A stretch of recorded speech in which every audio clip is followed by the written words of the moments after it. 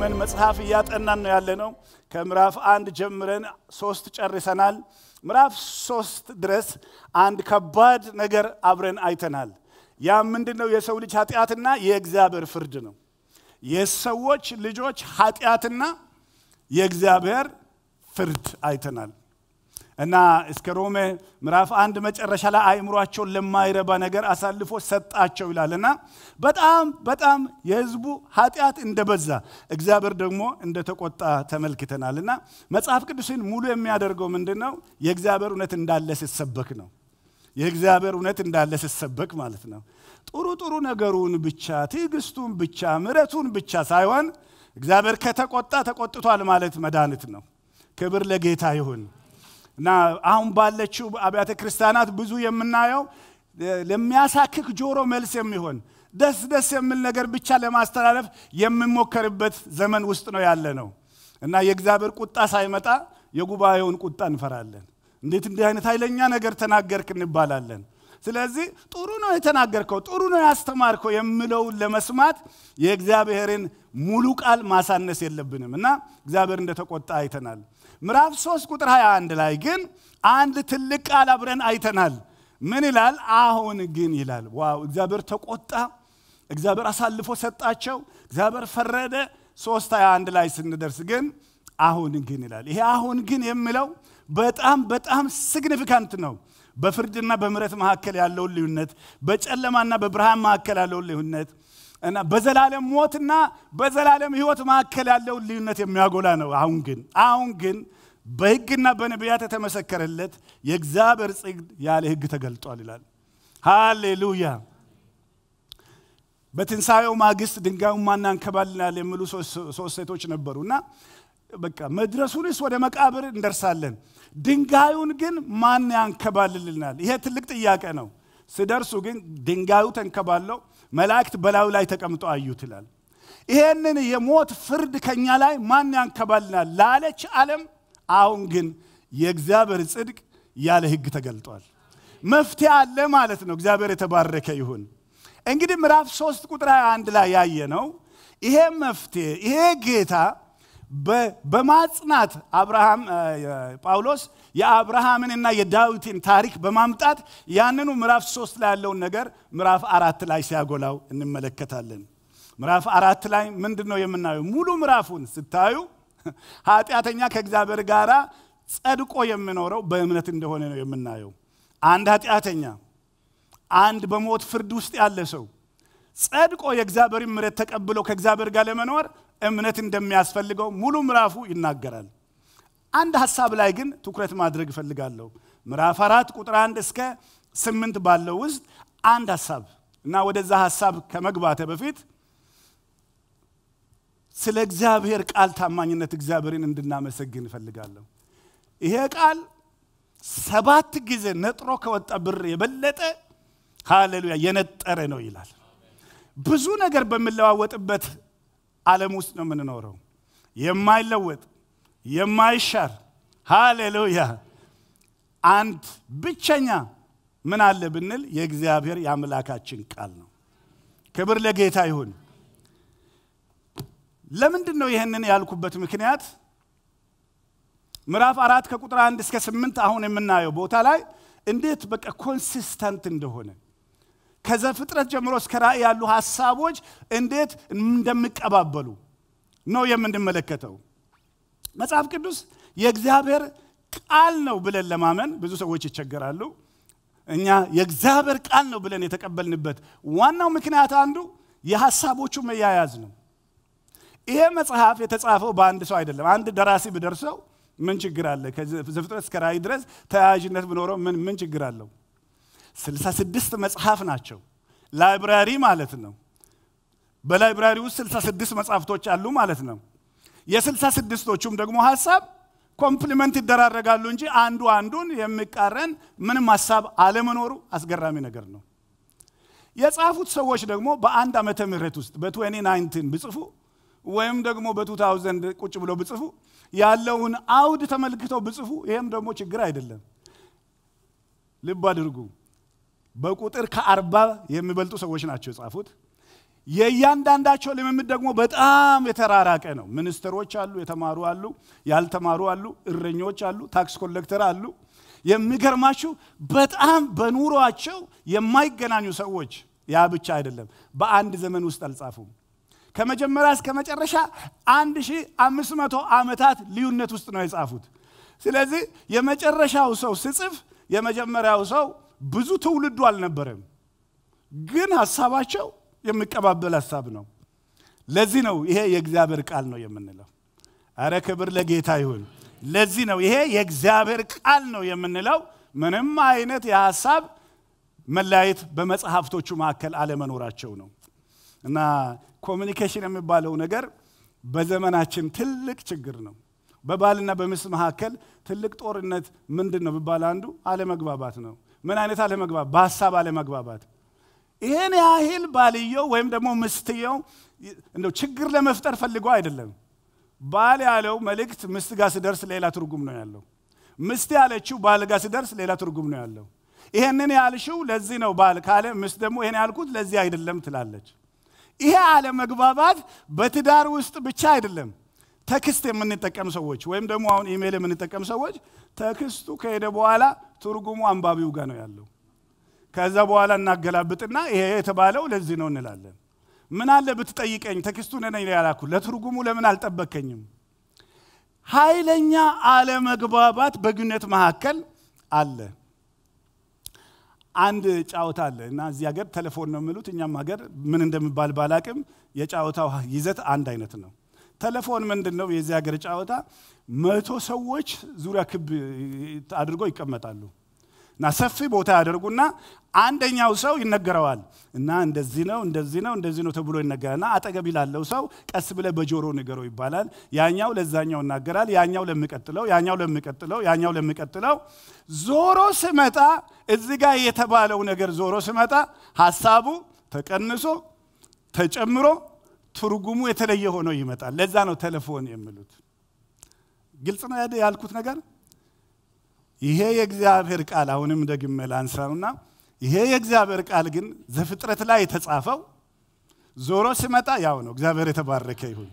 ዞሮ ስመጣ በብዙ ሺህ ዓመታት መካከል፣ በብዙ ጦርነት መካከል፣ በብዙ ከፍታና ዝቅታ መካከል ያው ነው። እግዚአብሔር የተባረከ ይሁን። ለምን ይሄን አመጣ ፓስተር ልትሉኝ ትችላላችሁ። ያልኩበት ሁለት ምክንያት ልንገራችሁ። የመጀመሪያ ኢየሱስ ክርስቶስ ወደዚህ ምድር መጥቶ ለእኛ ለሰው ልጅ ኃጢአት መሞቱ ቤተልሔም የዛሬ 2000 ዓመት የተጀመረ ሀሳብ አይደለም። ተመልከቱ ይህንን ጥቅስ ሮሜ ምዕራፍ 3 ቁጥር 21ን እንመልከት አንድ ጊዜ። ሮሜ ምዕራፍ 3 21 ተመልከቱ። ምን ይላል? አሁን ግን ጊዜው አሁን ነው። የምንነጋገርበት ጉዳይ ያለው አሁን ነው። አሁን ግን በሕግና በነቢያት የተመሰከረለት የእግዚአብሔር ጽድቅ ያለ ሕግ ተገልጧል ይላል። ምን ማለት ነው? ያለ ሕግ የተገለጠው ማን ነው? ተገልጧል። እርሱም ለሚያምኑ ሁሉ የሆነ በኢየሱስ ክርስቶስ በማመን የሚገኝ የእግዚአብሔር ጽድቅ ነው። ኢየሱስ ክርስቶስ አሁን ልንቀበለው የሚገባ ጌታ ቢሆንም ይሄ የጌታ ኢየሱስ ክርስቶስ ወደዚህ ምድር መምጣት ገና ድሮ በሕግና በነቢያት ተነግሯል። አያችሁ እንዴት ሕግ ኢየሱስ ይመጣል ይላል። ነቢያት ኢየሱስ ይመጣል ይላል። ጳውሎስ ሮሜ ላይ ኢየሱስ አሁን ተገልጧል ይላል። ክብር ለጌታ ይሁን። የሐሳብ ተያያዥነት ያልኳችሁ ይሄ ነው። በትንሣኤው ማግስት ሁለት ሰዎች የኤማውስ መንገደኞችም እየቆዘሙ ተስፋ ቆርጠው በኃይል በስራም በቃልም ብርቱ ነው እሱ ይታደገናል ብለን ነበረ። እነሆ እሱ ምን ሆኗል? አሁን ሞቷል እያሉ አንገት ደፍተው ሲሄዱ ሶስተኛ ሰው ሆነው ጌታ መካከላቸው ገባ። እናንተ እየቆዘማችሁ ስትሄዱ ምንድን ነው የምትነጋገሩት ብሎ ስጠይቃቸው አንተ ለሀገሩ እንግዳ ነህ እንደ የሆነውን ነገር አታውቅም? እኛ እኮ ያድነናል ያልነው ጌታ ሞተ አሉት። እናንተ የማታስተውሉ አላቸውና ከዛ ምን ነገራቸው? ሕግና ነቢያት ስለ እሱ የሚናገሩትን በሙሉ አንድ በአንድ ገለጸላቸው ይላል። መሞቱ እንኳን በሕግና በትንቢት ውስጥ አለ። ክብር ለጌታ ይሁን።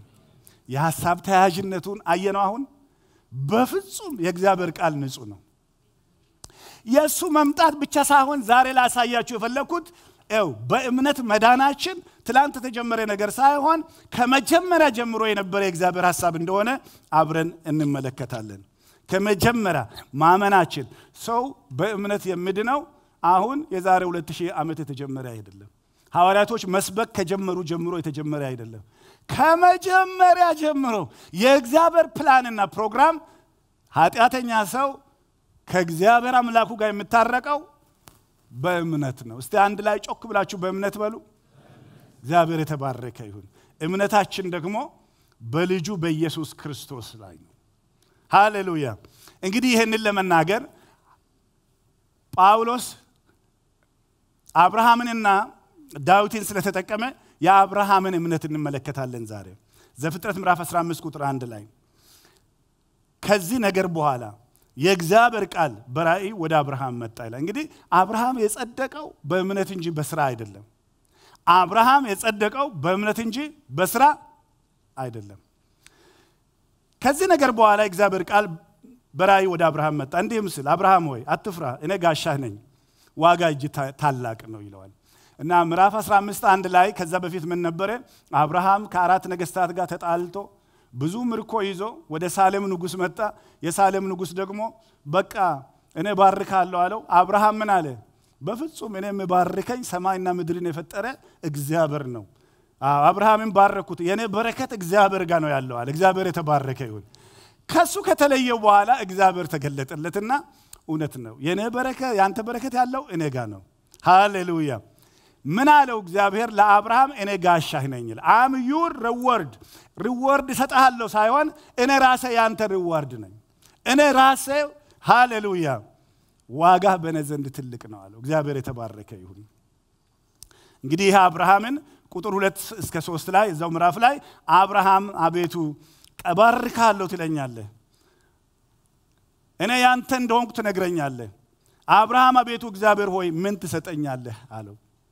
እኔ እኮ ያለ ልጅ ይሄዳለሁ፣ የቤተ መጋቢ የደማስቆ ሰው ኤሌዘር ይወርሰኛል። አያችሁ፣ ልጅ እሰጠሃለሁ፣ ወራሽ የለኝም።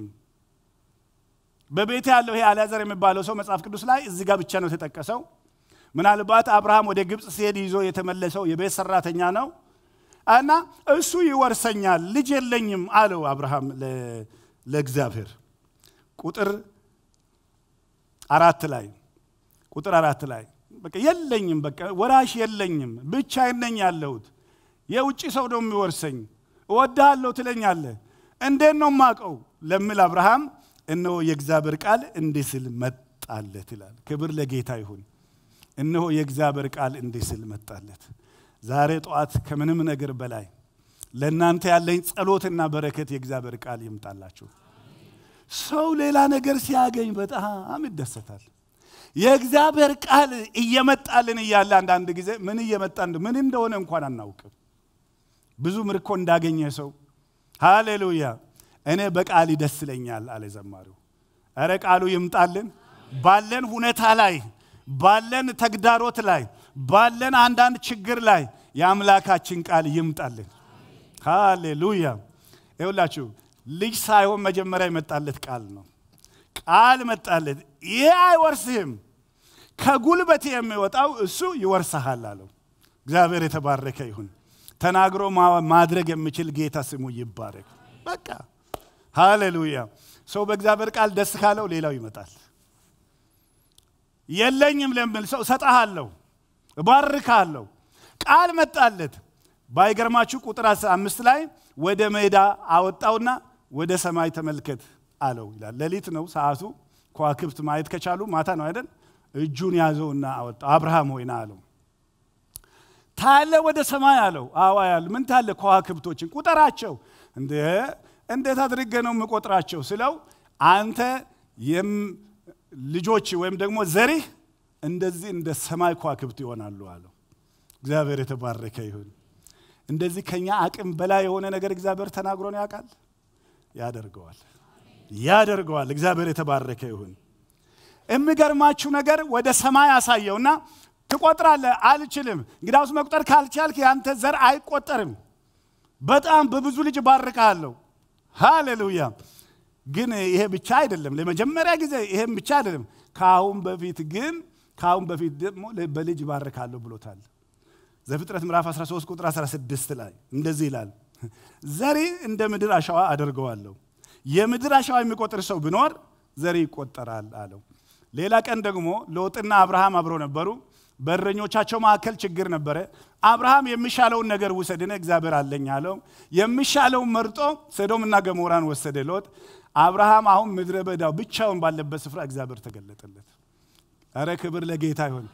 ዓይንህን አንሳና ተመልክ። ወዴት? ወደ ፈለግከው፣ ወደ ምስራቅ፣ ወደ ምዕራብ፣ ወደ ሰሜን፣ ወደ ደቡብ ዓይን ያየውን ነገር በሙሉ ለአንተና ለዘሪ ርስት አድርጌ ሰጠሃለሁ አለው። እግዚአብሔር የተባረከ ይሁን። ያላየነውን ነገር መውረስ አንችልም። ያየነውን ነገር ደግሞ ያስወርሰናል። ሁለተኛ ቀጠለና ና ወደ ባህር እንሄዳለው።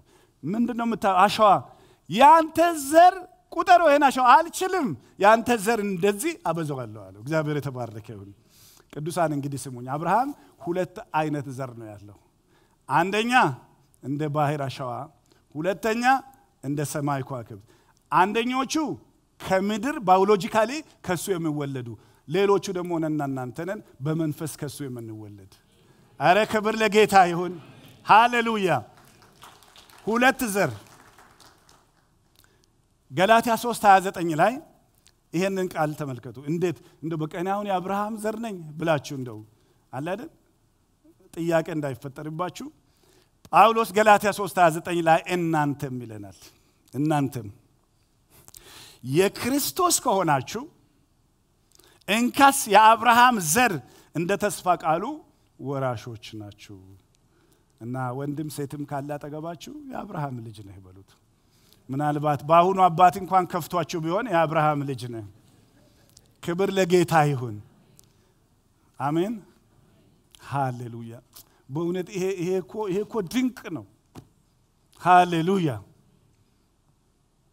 ድንቅ ነው ይሄ የክርስቶስ ከሆናችሁ ይሄ ነው ኳሊፋይ የሚያደርጉ የክርስቶስ ከሆናችሁ እንከስ የአብርሃም ዘር እንደ ተስፋው ቃል ወራሾች ናችሁ ይላል። ስለዚህ አብርሃም ምድራዊ ልጆች አሉት፣ አብርሃም ሰማያዊ ልጆች አሉት። አብርሃም በስጋ የተወለዱለት ልጆች አሉት፣ አብርሃም በመንፈስ ደግሞ የወለዳቸው ልጆች አሉት ማለት ነው። ምን ማለት መሰላችሁ? ይሄ ማለት ይሄ ማለት በዘር የማንገናኝ ሰዎች፣ በቋንቋ የማንገናኝ ሰዎች የተለያየ አይነት ሰዎች አንድ አባት አለን ሊያሰኝ የሚችል አባታችን በእምነት በኩል ይሄ ነው ማለት ነው። ወንድ የለ፣ ሴት የለ፣ ባሪያ የለ፣ ጨዋ የለ፣ አይሁድ የለ፣ ግሪክ የለ፣ ሁሉ በክርስቶስ አንድ ነው ሲል አንድ ያደረገን ይሄ እምነት ነው ማለት ነው።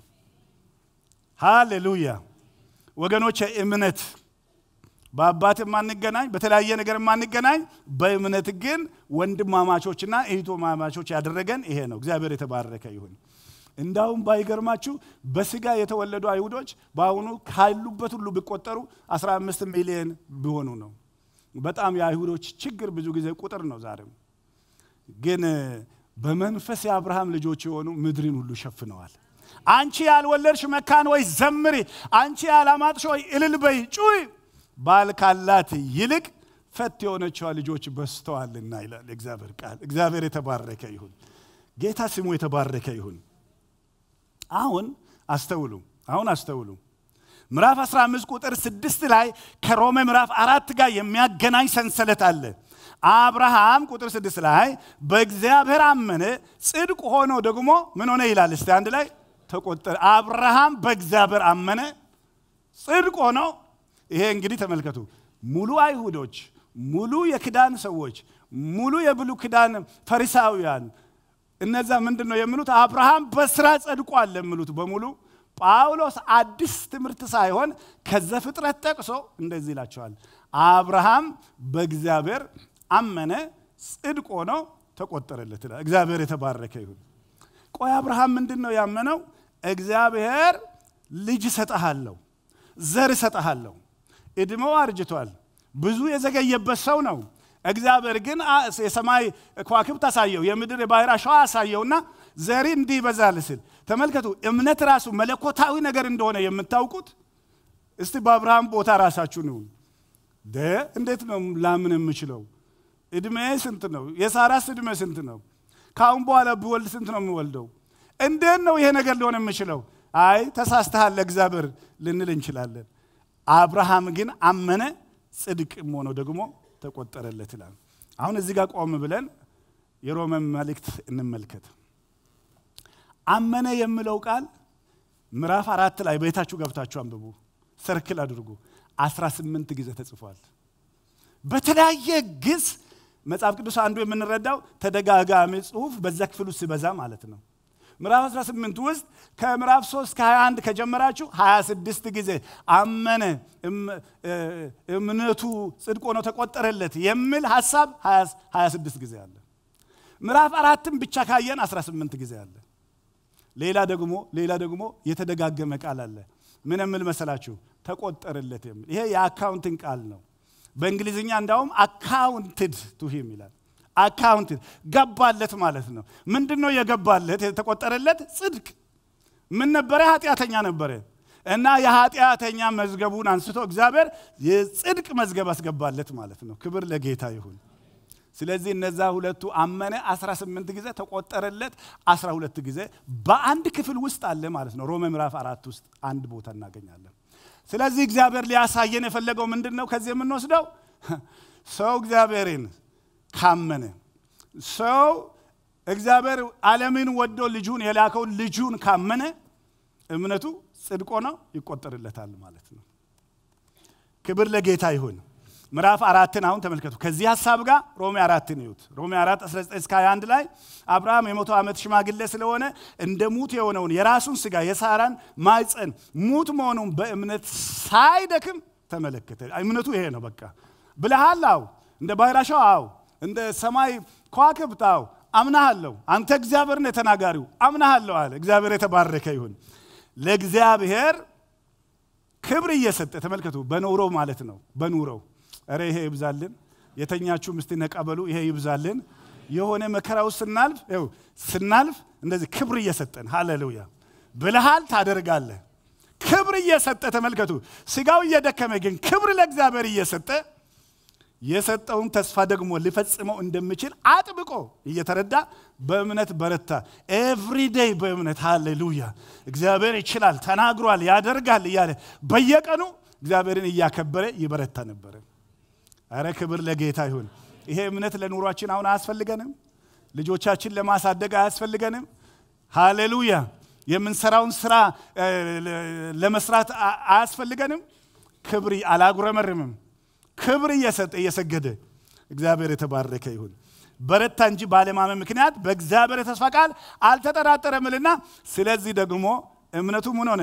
ጽድቅ ሆኖ ተቆጠረለት ይላል። አያችሁ፣ በመጨረሻ እግዚአብሔር የተባረከ ይሁን። ጽድቅ ሆኖ ተቆጠረለት። ቁጥር 21 መጨረሻ ጽድቅ ሆኖ ተቆጠረለት። ስለዚህ ኃጢአተኛ እንዴት ነው ምንድነው? እስቲ አንድ ላይ በኢየሱስ ክርስቶስ በማመን ጽድቅ ሆኖ ይቆጠርለታል ማለት ነው። ይቆጠርለታል የምለው ደግሞ ያስቆጠር ነው አይደለም። እረ ክብር ለጌታ ይሁን። እኛ እኮ የሰራ ነውና ያስቆጠር ነው አይደለም። ተቆጠረለት ከተባለ እግዚአብሔር በምሕረቱ ያደረገው ነገር እንደሆነ መገንዘብ እንችላለን። አሁን አንድ ትልቅ ጥያቄ እንመልሳለን። በጣም በጣም አንድ ከባድ ጥያቄ እንመልሳለን። አብርሃም እግዚአብሔርን ያመነው ለመጀመሪያ ጊዜ ዘፍጥረት ምዕራፍ 15 ላይ ነው። የአብርሃም ታሪክ የት ነው የምናየው? ከምዕራፍ 11 ዘፍጥረት ጀምሮ አብርሃም እግዚአብሔርን እንዳመነ ነው የምናየው። ለምንድን ነው ግን ጽድቅ ሆኖ ያልተቆጠረለት?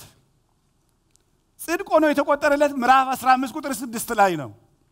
እሱ መጀመሪያ እስቲ እምነቱን እኔ ዕብራውያን 11 8 ላይ አብርሃም የተባለው ርስት አድርጎ ሊቀበለው ወዳለው ስፍራ ለመውጣት በእምነት ታዘዘ ይላል። እና አሁን መልሱልኝ እናንተ በምን ነበረ ከሀገሩ የወጣው? አዎ በምንድን ነው? ክብር ለጌታ ይሁን። በእምነት ነው የወጣው። ግን ጽድቅ ሆኖ አልተቆጠረለትም። ልምምዱን ትቶ ቤተሰቡን ትቶ የሚያውቀውን ሀገር ትቶ አንቱ ተብሎ የምጠራበትን ቀየ ትቶ ሲወጣ በእምነት ጽድቅ ሆኖ አልተቆጠረ። ግን በእምነት እንደወጣ ይኸው የእግዚአብሔር ቃል ይናገራል። ዕብራውያን ምዕራፍ 11 ቁጥር 9 ላይ ቀጥሎ ምን አይነት ኑሮ እንደኖረ ስናይ የእምነት ኑሮ መሆኑ ይታያል። ለእንግዶች እንደሚሆን በተስፋው ቃል በተሰጠው ሀገር በድንኳን ነው የኖረው። አብረውት ከሚወርሱ ከይስሐቅ ከያዕቆብ ጋር በቃ ወራሾቼ ናችሁ ብሎ ይስሐቅንም ያዕቆብንም ከወለደ በኋላ አላደል እንደው ዘና ብሎ ሳይኖር በእምነት መጻተኛ ሆኖ ኖረ። ለምንድን ነው የሁሉ ጉዳት ሲባል እኔ መሰረት ያላትን እግዚአብሔር የሚፈጥራትንና የሚሰራትን ከተማ ጠብቃለሁ። የእኔ ቤት ይሄ አይደለም፣ እንግዳ ነኝ በዚህ ዓለም። ትልቅ ነገር ይጠብቀኛል። ተናግሮኝ ነው የወጣሁት። ለዚህ ብቻ ብዬ አይደለም የምኖረው። እኔ እኔ እግዚአብሔር መሰረቷ እግዚአብሔር የሆነ ታውቃላችሁ። መጽሐፍ ቅዱስ ላይ ማቴዎስ 24 ላይ ስታዩ እነዚህ የሰማይ ከዋክብት ሁሉ ይረግፋሉ ይላል። ሰማያት ሁሉ እንደ ወረቀት ይቀደዳሉ ይላል። በዛን ጊዜ ግን መሰረት ያላት ከተማ ሃሌሉያ፣ እግዚአብሔር አርኪቴክቱ የሆነ እግዚአብሔር ቢውልደሩ የሆነ በምንም ነገር የማትናወጥ ከተማ ጠብቃለሁ አለ። እግዚአብሔር የተባረከ ይሁን። ግን ይሄ ሁሉ ጽድቅ ሆኖ አልተቆጠረለትም። ታዲያ ጽድቅ ሆኖ የተቆጠረለት ምኑ ጋ ነው? ምስጢሩ ምንድን ነው? ዘፍጥረት 15 ስድስት ላይ ብትሉ ምስጢሩ መሰላችሁ ጽድቅ ሆኖ የተቆጠረለት ከዘር ጋራ በሚያያዝ ነው። አብርሃምን መጀመሪያ በቃ ምድር ይሰጥሃለሁ ነው ያለው። ከዛ ጋራ አይደለም የተስፋ ቃሉ የተያያዘው ከይስሐቅ ጋራ ነው። ውጣና ተመልከት ወደ ሰማይ ከዋክብት ዘሪ እንደዚህ ይበዛል ብሎ እግዚአብሔር ተናገረው። ያንን ዘር ስላመነ እንጂ መሬት ስላመነ አይደለም፣ ሀብት ስላመነ አይደለም። ክብር ለጌታ ይሁን። ይሄ አሁን ድማምት ነው እየገባ ብዙ ነገር ያፈርሳል። ክብር ለጌታ ይሁን። ሃሌሉያ። አንድ ሰው ካመነ በቃ የዓለምን ሀብት ሁሉ ያገበሰብሳል ማለት አይደለም። እምነታችን ራሱ በምን ላይ እንደሆነ መፈተን አለበት። በኢየሱስ ላይ ነው። ክብር ለጌታ ይሁን። ጮክ ብላችሁ አሜን በሉ። አሁን በማን ላይ ነው? በዘር ላይ ነው። አብርሃም ከዘር ጋር በተያያዘ ነው ያ በረከት ውስጥ የገባው። ፓስተር ምን ማስረጃ አለ? እስቲ ገላትያን ተመልከቱ። ገላትያ 3 16 ላይ እዚህ ላይ አለ። በደንብ እዩት እስቲ። ለአብርሃምና ለዘሩ ይላል። ተመልከቱ። ለአብርሃምና ለዘሩ የተስፋው ቃል ተነገረ። ለብዙዎች እንደምነገር ለዘሮች እኮ አይልም። አብርሃም ብዙ ልጆች በስጋ ወልደዋል። ለዘሮች አይደለም የሚለው ለዘሪ ይላል። እርሱም የአዘር እንግዲህ ይስሐቅ፣ ያዕቆብ እያለ ይቀጥልና መጨረሻው ማን ነው? አንድ ላይ ክርስቶስ ነው አይልም? ይላል አይልም? ምን ነው ቅዝቅዝ አላችሁ ታዲያ? ክርስቶስ ካለ እስቲ ክብር ለሱ ስጡ። ሃሌሉያ! እግዚአብሔር የተባረከ ይሁን። ሰው እኮ ሰው ያለውን ነገር ካላወቀ ከባድ እኮ ነው። የዛሬ ሁለት ሳምንት ይመስለኛል የተናገርኩት አንድ Greeley oil ያለው ቤቱ ውስጥ ነዳጅ ያለው ሰው በቃ ስራ ፍለጋ ካሊፎርኒያ ሄደ። በስተእርጅናው ነዳጅ አለ ቤቴ ውስጥ አለ። ዛሬ እነግራችኋለሁ ክርስቶስ ሁሉ ነገር ነው። አንዳንድ ቤተ ክርስቲያን ስትሄዱ ስለ እምነት በጣም ይሰበካል። ጥሩ ነው። አንዳንድ ቤተ ክርስቲያን ስትሄዱ ስለ ብልጽግና በጣም ይሰበካል። አንዳንድ ቤተ ክርስቲያን ስትሄዱ ስለ ፈውስ በጣም ይሰበካል። አንዳንድ ቤተ ክርስቲያን ስትሄዱ ስለ ጸሎት በጣም ይሰበካል። አንዳንድ ቦታ እንደው specialize እንዳደረገ እንደው ኪድኒ ስፔሻሊስት እንደምሉ የሆነ specialize ያደረግንበት አይነት። እኔ ግን ልንገራችሁ እዚህ ቦታ ክርስቶስ ይሰበካል። ክርስቶስ ሲሰበክ እግዚአብሔር የተባረከ ይሁን። ክርስቶስ ሲሰበክ ፈውስ ይሰበካል። የትኛውም ነገር እዛ ውስጥ ፈውስ ይሰበካል። የጸሎት ጉልበት ይሰበካል። የእምነት ቃል ይነገራል። ክርስቶስ ሁሉ በሁሉ ነው። እግዚአብሔር የተባረከ ይሁን። ለዘሪ ይላል እርሱም ክርስቶስ ነው። ያ ማለት አብርሃም ዘፍጥረት ምዕራፍ 15 ቁጥር 6 ላይ አመነ ስል ከክርስቶስ ጋር ተያያዥነት አለው። አብርሃም ቀንን አይቶ ሐሰት አደረገ አለ ዮሐንስ ወንጌል ምዕራፍ 8 ላይ ሐሰት በቃ አይቷል። ሳሙኤል አይቷል። ዘፍጥረት 15 ላይ አይቶ ይሆናል። ሞሪያም ተራራ ላይ ዘፍጥረት 22 ላይ አይቶ ሊሆን ይችላል። ግን አንድ ነገር ክርስቶስ ስለ አብርሃም የሚያውቀው እሱን ቀኔን አይቶ ደስ ብሎታል። እግዚአብሔር የተባረከ ይሁን። ስለዚህ በክርስቶስ ኢየሱስ ማመን ትላንትና የተጀመረ የዛሬ ሁለት ሺህ ዓመት የተጀመረ ሐዋርያቶች የጀመሩት ሳይሆኑ በእግዚአብሔር ፕሮግራም ውስጥ ከመጀመሪያ የነበረ ነው። ክብር ለጌታ ይሁን። ሃሌሉያ። ጸጋው በእምነት አድኗችኋል። ይህም ደግሞ የእግዚአብሔር ስጦታ ነው። ይሄን ስጦታ የተቀበለ ጉባኤ ነው ይሄ ጉባኤ። ሃሌሉያ። በቤትሽ ምን አለ ስትባል ያቺ ነቢይ ባሏ የሞተባት ሴት ባዶ ማድጋ ነው ነው ያለችው። ባዶ ማድጋ። በቤታችን ያለውን ነገር እንድናውቅ ያስፈልጋል። ቤታችሁ ሶፋ ላይኖር ይችላል። ብዙ ሰፊ screen ያለው ቴሌቪዥን ላይኖር ይችላል። ሰው እንደሚለው account ኣችን ውስጥ ብዙ ነገር ላይኖር ይችላል። ቤት ማለት ግን ክርስቶስ ያለበት ነው። ሃሌሉያ። ክርስቶስ አለ። ቤታችሁ በጣም ያማረ ነው። እግዚአብሔር የተባረከ ይሁን። ሁሉ በሁሉ ነው ክርስቶስ። ሃሌሉያ። ዳዊት ለእግዚአብሔር ቤተ መቅደስ ሲሰራ ለምንድን ነው የምትሰራው አሉ። እግዚአብሔር ሆይ ለእግርህ ማረፊያ ታገኝ ዘንድ ቤት ለምንድን ነው የምኖረን? እግዚአብሔር በዛ ማረፊያ ያገኝ ዘንድ። ኢየሱስ ክርስቶስ ጌታ ነው። ሃሌሉያ። ሰለሞን ቤተ መቅደስ ሰራ። አደገኛ የሆነ ቤተ መቅደስ ሰርቶ ጨረሰ እና ቤቱን አይቶ እግዚአብሔርን አይቶ no no no ናና እዚህ ኑር አልልህም አለው። ናና እዚህ ኑር አልልህም አለው። ለምን ስለው አንተ እኮ ሰማይ ከሰማያት በላይ ያለ ሰማይ ሊይዝ አይችልም። እንዴት እዚህ መጥተህ ኑር እልሃለሁ? ታዳሳ ስለው በቃ አንድ ነገር ብቻ ጠይቀሃለሁ። እዚህ ቤት ለምጸለየው ጸሎት ጆሮች የተከፈቱ ይሁኑ፣ አይኖች ወደዚህ ይመልከቱ። ይሄን ካረክልኝ በሌላ አላስቸግርህም አለው። እግዚአብሔር ደስ አለው። በቤታችሁ ጸሎት ይሰማ፣ በቤታችሁ ጸሎት ይሰማ። ታውቃላችሁ፣ ጸሎት የሚከለከልበት ቤት አለ። በፍጹም መጸለይ የማትችሉበት ቤት አለ። ቤታችሁ ግን ስትገቡ ክብር ለጌታ ይሁን። የሆነ መጋረጃ ይቀደድ፣ የሆነ መሸፈኛ ይነሳ። በቃ እግዚአብሔር የተባረከ ጸልይ፣ ዘምር የምልበት ቤት በቃ ያ ነው ቤት ማለት። ክብር ለጌታ ይሁን። ስለዚህ ክርስቶስ ሁሉ ነገር ነው። ሃሌሉያ። አሁን ልንጨርስ ነው። አሁን አብርሃም ለምን መጣ የሚለው በቃ አሁን ሮሜ ምዕራፍ አራት ቁጥር አንድ ላይ ሁለት ምስክሮችን ጳውሎስ እንደ ዳኛ ማለት እንደ ጠበቃ ሆነው ሁለት ምስክሮችን ነው የሚያመጣው፣ አብርሃምና ዳዊት። አብርሃም በመሰረቱ አይሁዶች አይዛብም፣ ይቅርታ አይዛብ ሳይሆን እስላምም፣ ሌሎችም ደግሞ አይሁድ፣ አህዛብ፣ ክርስቲያኖች ሁሉ የዓለም ሕዝብ ከአራት ቢሊየን በላይ በአብርሃም ላይ ችግር የላቸውም። እስላምም አብርሃም የኛ ነው ነው የሚለው፣ አይሁድም አብርሃም የኛ ነው ነው የሚሉት፣ ክርስቲያኖችም አብርሃም የኛ ነው ነው የምንለው። አንተ መስክር፣ እንዴት ነው የዳንከው ተብሎ አብርሃም ተጠየቀ። አብርሃም ገባ፣ ወደዚህ court ገባ። አብርሃም እኔ አለ እኔ በስራ ነው። ምክንያቱም አንተ ድነሃል። ትዝ ይላችኋል ሉቃስ ወንጌል ምዕራፍ 16 ላይ አልዓዛርና አንድ ሀብታም ሰው ነበሩ። ሁለቱም ሞቱ። መጀመሪያ ሀብታሙ ሞተ፣ ቀጥሎ አልዓዛር። ከዛ በኋላ አልዓዛር እንደሞተ ምንድን ነው ያየነው ነገር? መላእክት መጥተው ወዴት ወሰዱት? ወደ አብርሃም እቅፍ ወሰዱት ይላል። ምን ማለት ነው? አብርሃም ሁል ጊዜ ሰክርድ ሰው ነው፣ እንደ ዳነ ይታወቃል። ግን የዳንከው በምንድን ነው? በስራ ነው ወይ ንገረን ምናምን ስሉ መጽሐፍ ቅዱስ ሮሜ አራት ሁለት ላይ አብርሃም በስራ ጸድቆ ቢሆን የምመካበታለሁ፣ ነገር ግን በእግዚአብሔር ዘንድ በፍጹም አይደለም። ከሰው ጋር ስታይ አብርሃም ከይስሐቅ ይሻላል ማለት እንችላለን። ከእግዚአብሔር ጋር ስታይ ግን የአብርሃም ጽድቅ የመርገም ጨርቅ ነው። በምንድን ነው የዳንከው? ኃጢአተኛን በእምነት የሚያጸድቅ እግዚአብሔር ረዳኝ ነው የሚለው። እግዚአብሔር የተባረከ ይሁን። ሃሌሉያ ሃሌሉያ። ምስቴን ሳራን ነፍሴን ፈርቼ እሷን አሳልፌ ሰጥቼ ደግሞ እኔን ብሎ እኔን ብሎ ደግሞ በስራው የሚጸድቅ አረ እግዚአብሔር ነው የረዳኝ። ክብር ለጌታ ይሁን።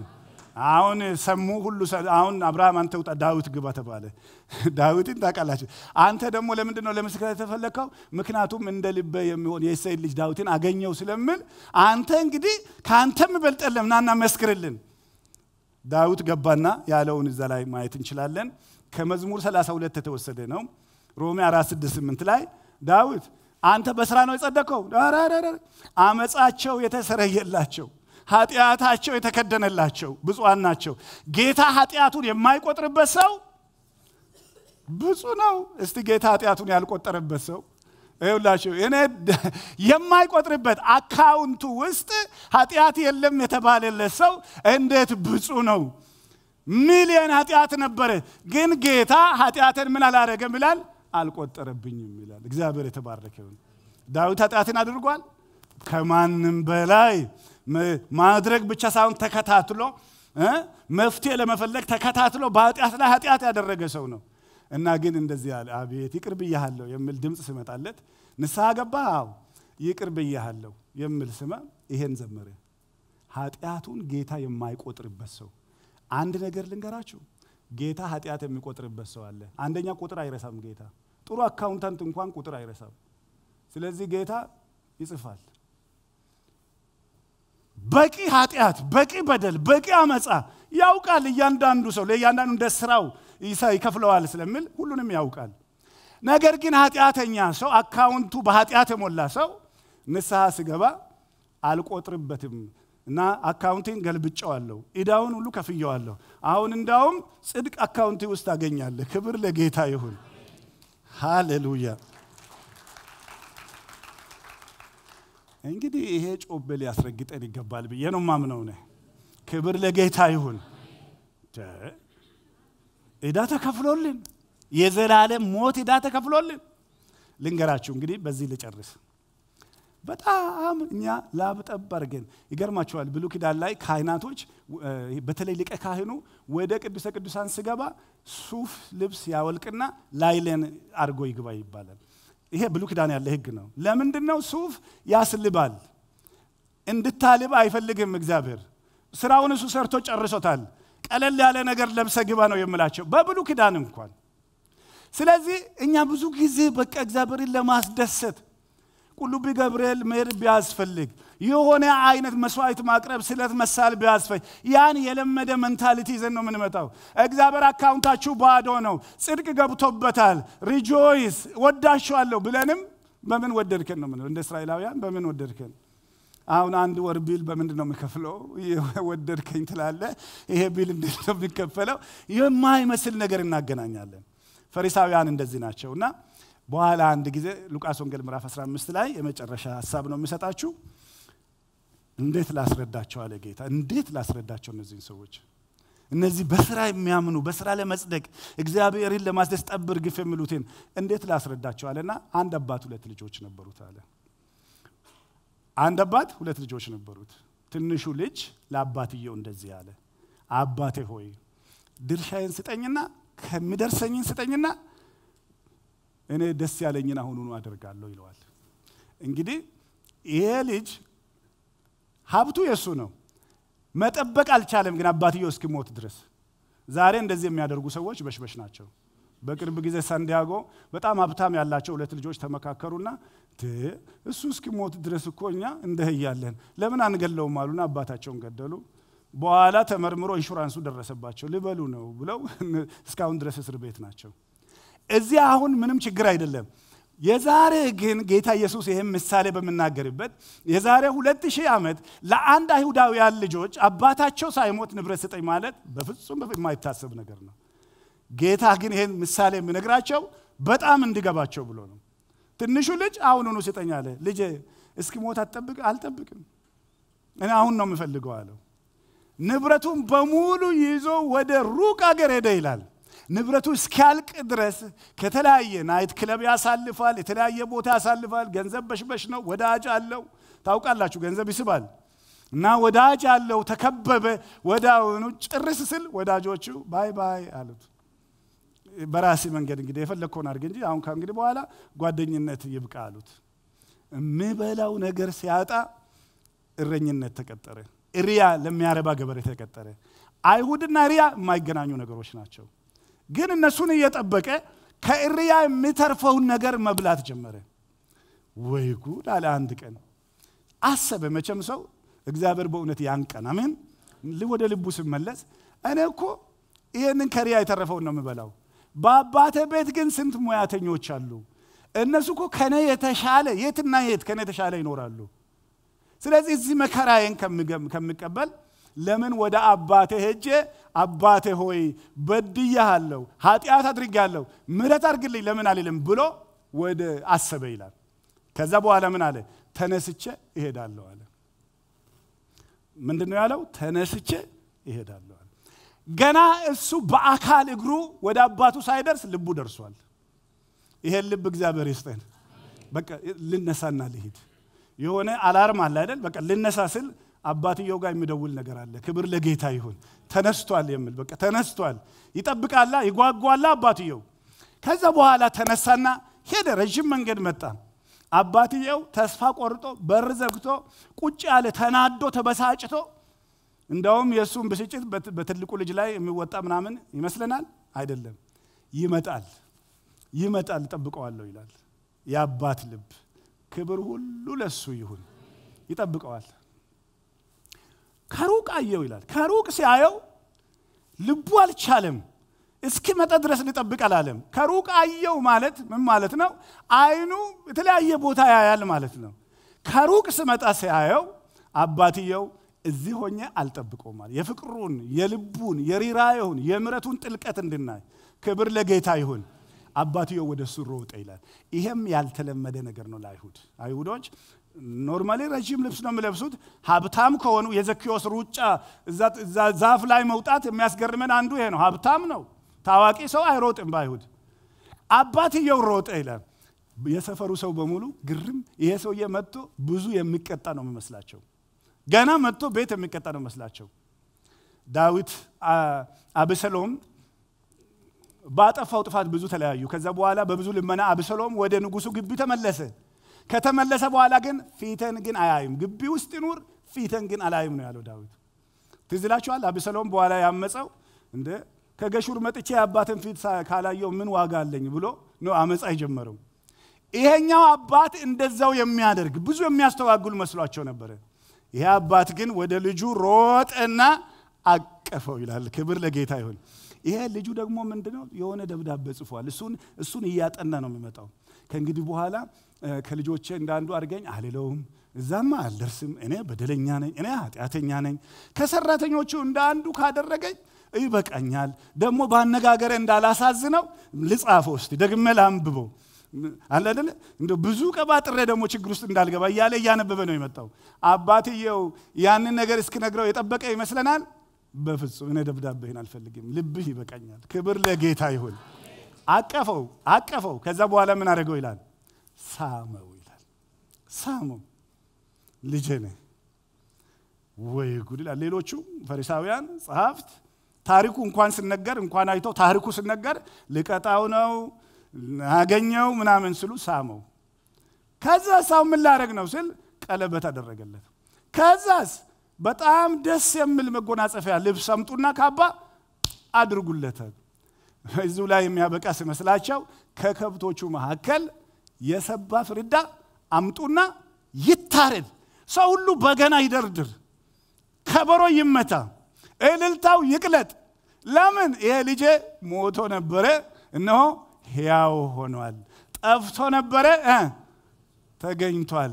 አካውንቱ ውስጥ ሞት ነበረ፣ አሁን ደግሞ እምነቱ ምን አድርጎለታል? ጽድቅ። ያንን ያንን ያንን የተበላሸ መዝገብ አውጥቶ ጽድቅ አካውንቱ ውስጥ ገብቷል። እግዚአብሔር የተባረከ ይሁን።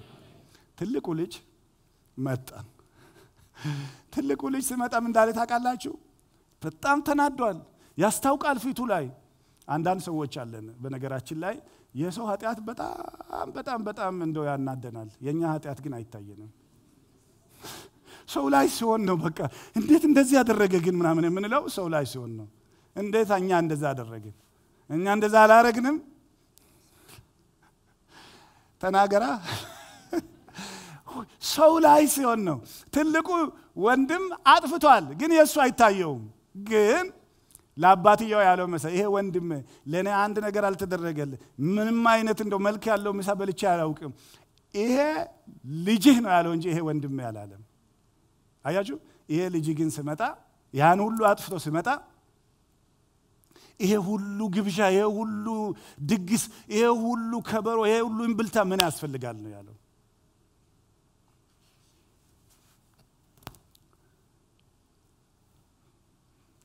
ጌታ ኢየሱስ ክርስቶስ ለምን ይሄ ምሳሌ ተናገረ? መልሱ መልሱ ራሳቸውን ለማጽደቅ የሚፈልጉ